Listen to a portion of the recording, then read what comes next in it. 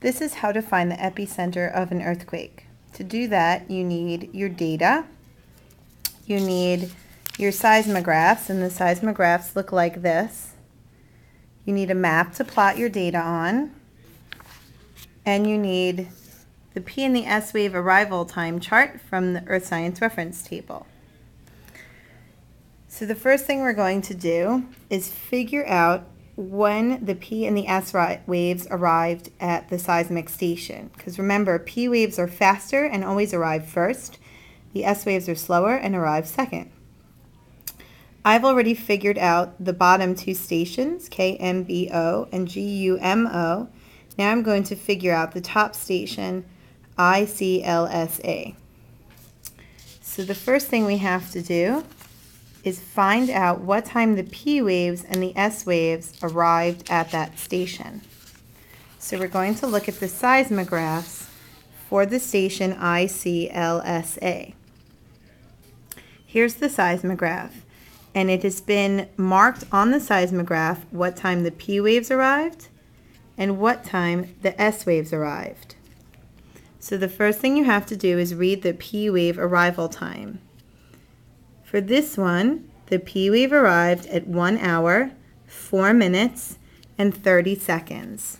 So I'm going to go back to the front page, and in my data chart, I'm going to write that the P wave arrived at 1 hour, 4 minutes, and 30 seconds.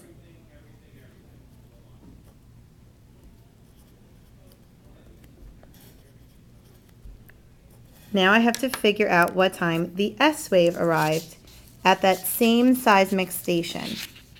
So I go back to my seismograph and I look at the S wave arrival time. The S wave arrived at 1 hour, 9 minutes, and 10 seconds. So I'm going to go back to my chart and write my data in. 1 hour, 9 minutes, and 10 seconds. In order to find the distance to the epicenter of an earthquake, you have to know the time difference between when a P wave arrives and when an S wave arrives at the seismic station. That time difference is going to allow you to find the distance to the epicenter. So the P wave arrived at 1 hour, 4 minutes, and 30 seconds. The S wave at 1 hour, 9 minutes, and 10 seconds, making the time difference between them 4 minutes and 30 seconds. So I'm going to write 4 minutes and 30 seconds. Sometimes it's difficult to figure out differences in time. So I find one of the best ways to do that is to use your fingers. So for this one, since I'm going from 4 minutes and 30 seconds to 9 minutes and 10 seconds, using my fingers, I would go 5 minutes and 30 seconds, 6 minutes and 30 seconds, 7 minutes and 30 seconds, 8 minutes and 30 seconds. And then it's 40 more seconds to get to 9 minutes and 10 seconds. So 4 hours and oops, not 30 seconds, 4 hours and 40 seconds. So it's good that I checked myself so that I could correct this to 4 minutes and 40 seconds. Now I need to find the distance to the epicenter of the earthquake. In order to find the distance to the epicenter, the only data that's important is this data, the time difference between the P and the S waves. I don't need to know their arrival times if I've figured out the time difference. So I know that for this station, the P wave and the S wave were 4 minutes and 40 seconds apart from each other. So now I'll use this chart in order to figure out how far away the earthquake was when the P and the S waves were 4 minutes and 40 seconds apart. There are a couple of steps I have to do. The first thing you need is a piece of scrap paper, and you can use any scrap paper you have available. I'm going to use the back of my lab. What you do is you take your scrap paper and you line it up along the time axis of this graph. There are two axes. The bottom one is the epicenter distance. The epicenter distance is measured in thousands of kilometers. So this means 1,000 kilometers, 2,000 kilometers, 3,000 kilometers, and so on. The lines in between are units of 200 kilometers. So this is 200, 400, 600, 800, 1,000, 1,200, 1,400, 1,600, etc. The y-axis is time in seconds. Starting at zero, it goes in 20 second intervals. 20 seconds, 40 seconds, one minute. One minute, 20 seconds, one minute, 40 seconds, two minutes. Right now I'm trying to find out how far away an earthquake was if the P and the S waves were 4 minutes and 40 seconds apart. So I'm going to take my scrap paper, put it against the time axes, keeping it as straight as I can. I'm going to mark off 0 minutes,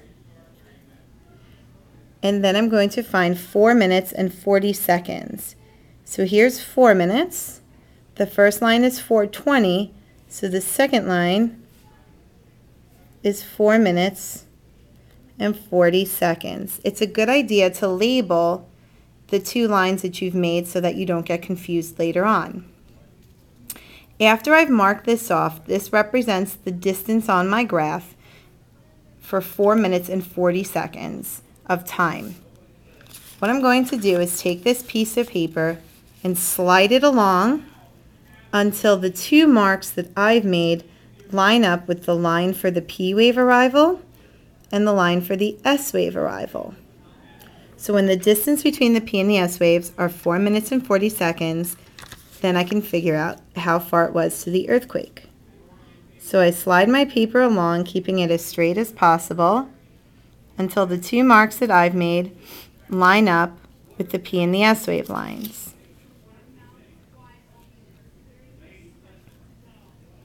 So I would say right about there is where my two marks line up with the line for the P waves and the line for the S waves. Now I just look at the bottom and I figure out what my distance to the epicenter is. Right here, the distance is 3,200 kilometers. So when the P and the S waves are 4 minutes and 40 seconds apart, the distance to the epicenter is 3,200 kilometers. So now in my data chart, I'm going to write 3,200 kilometers.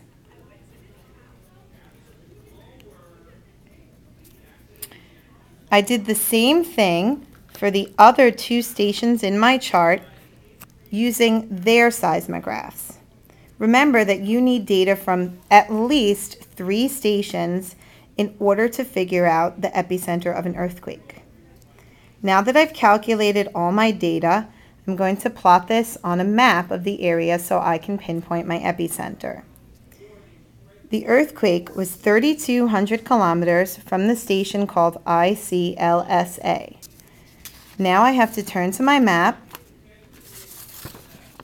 and I've already plotted the points for the other two seismic stations on the map.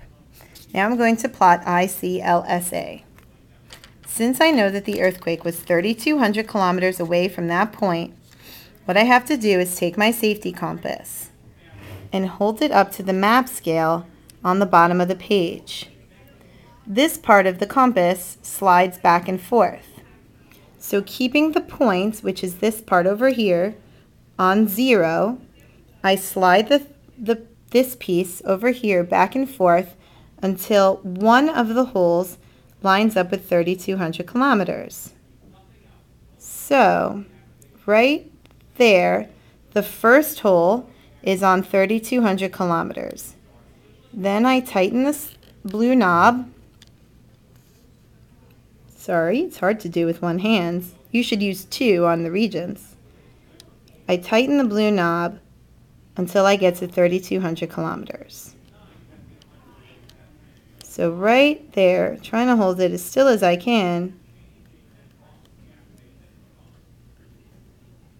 I have my safety compass lined up at 3,200 kilometers. This data was for the station called ICLSA.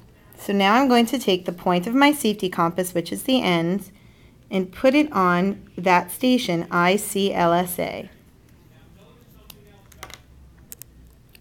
Taking my pen, I'm going to keep one finger over here and put the pen in the hole that lines up with ICLSA.